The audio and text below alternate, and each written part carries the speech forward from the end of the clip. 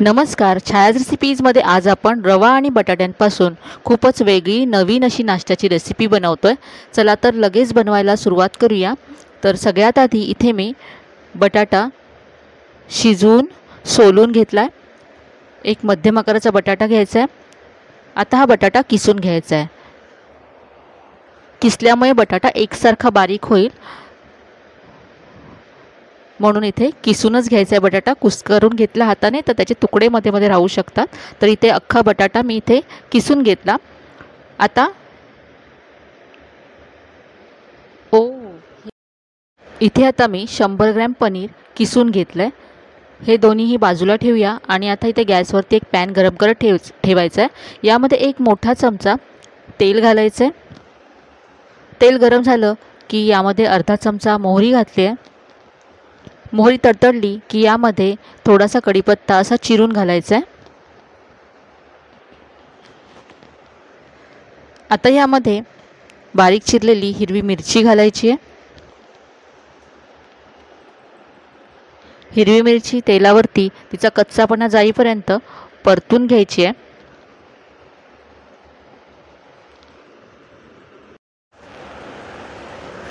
आता यामध्ये किसलेलं आलं आणि लसूण घालायचे तर इथे मी अर्धा इंच आलं आणि तीन ते चार लसणाच्या पाकळ्या घेतल्या होत्या.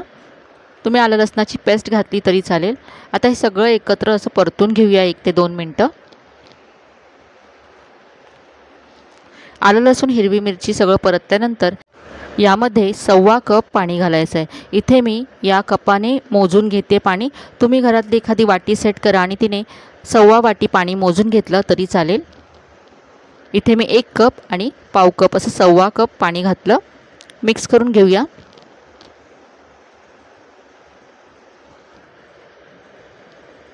आता यामध्ये पुढचं साहित्य घालूया.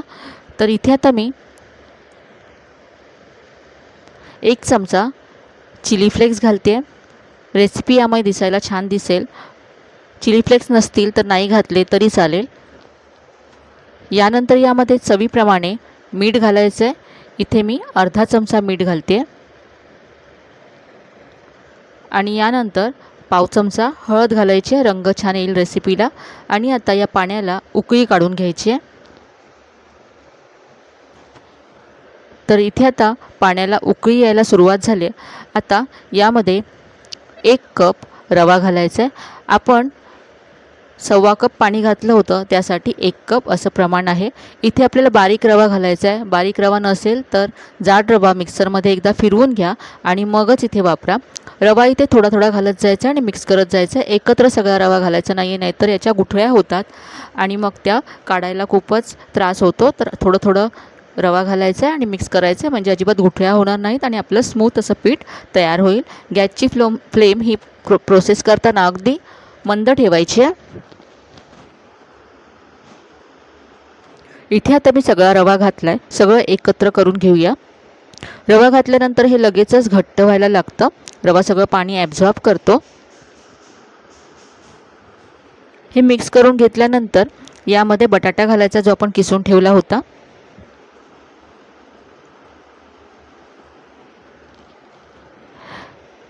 आणि याबरोबरच आपण जे पनीर किसून ठेवलं होतं. ते सुद्धा यामध्ये घालायचं आहे आधी बटाटा आपण मिक्स करून घेऊया. आणि मग पनीर.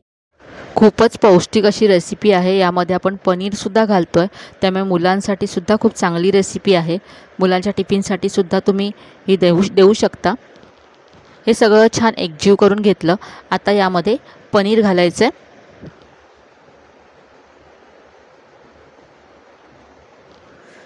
आता पनीरसुद्धा यामध्ये एकजीव करून घेऊया. आणि हे सगळं करताना गॅसची फ्लेम आपल्याला मंद ठेवायची आहे.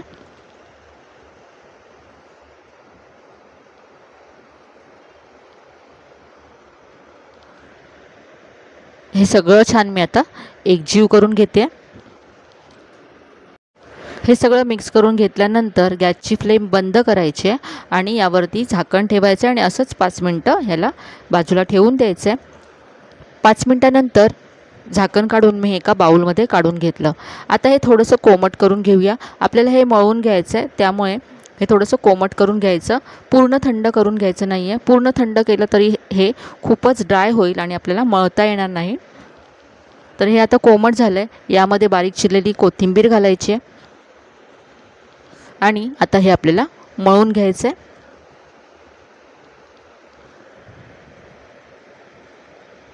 पिठाप्रमाणे मळून याचा गोळा तर तयार करून घ्यायचा आहे तर इथे असं हे मळून घेतलं आहे मी. आता यावरती थोडंसं तेल घालायचं आहे साधारण अर्धा चमचा तेल घातलं आणि पुन्हा एकदा हे मळून घेतलं.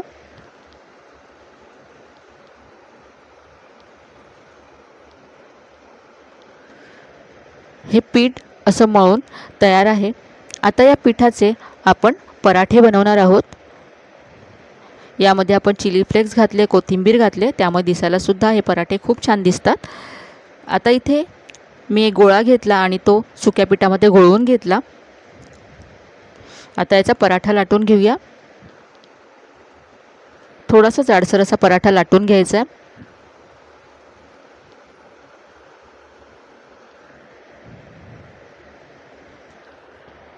हा पराठा लाटल्यानंतर हा पण असाच भाजून भाजू शकतो पण दिसायला छान दिसावा म्हणून हा मी असा कट करून घेते. तर एखाद्या प्लेटने किंवा झाकणाने असा हा कट करून घ्या म्हणजे राऊंड पराठा दिसायलासुद्धा छान दिसेल. एक्स्ट्राचं पीठ काढून टाकायचं आहे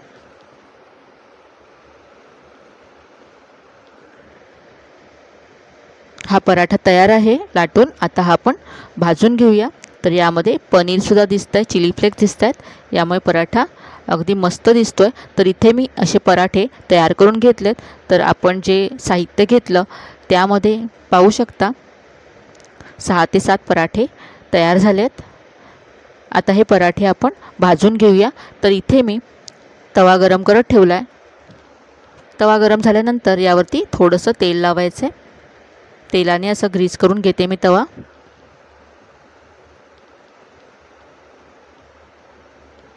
आता यावरती पराठा घालायचा आहे. पराठा आता एका बाजूने भाजून झाल्यानंतर आपण उलटून घेऊया. आणि आता दुसऱ्या बाजूने सुद्धा पराठा भाजून घेऊ.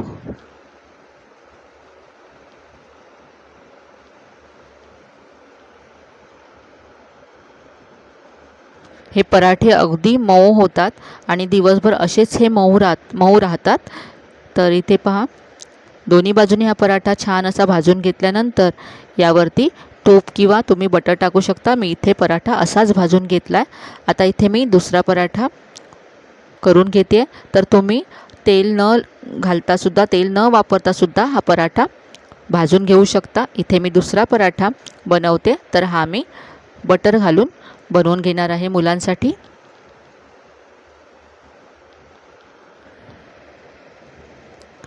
यावरती मी बटर घालते. तूप घालू शकता मी तु तुम्ही तुमच्या आवडीप्रमाणे.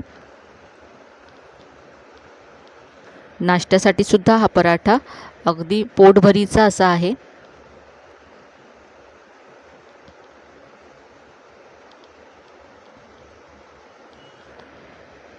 तर हा दुसरा पराठासुद्धा भाजून तयार झाला आहे हे पराठे तुम्ही टोमॅटो केचपबरोबर सर्व करू शकता. इथे मी दही आणि लोणच्याबरोबर हे पराठे सर्व केलेत. तर हे अगदी मऊ लुसलुशीत असे हे पराठे तयार आहेत. दिसायला जितके छान दिसत आहेत तितकेच चवीलासुद्धा मस्त लागतात. नक्की करून पहा. तर इथे माझे पहा पराठे बनवून तयार आहेत. तर आजची ही रेसिपी तुम्हाला नक्कीच आवडली असेल. रेसिपी आवडली असेल तर व्हिडिओला लाईक करा शेअर करा. चॅनलवर नवीन असाल तर चॅनलला सबस्क्राईब करायला विसरू नका. चला तर मग पुन्हा भेटूया अशा छान छान आणि नवीन नवीन रेसिपीसह तोपर्यंत धन्यवाद.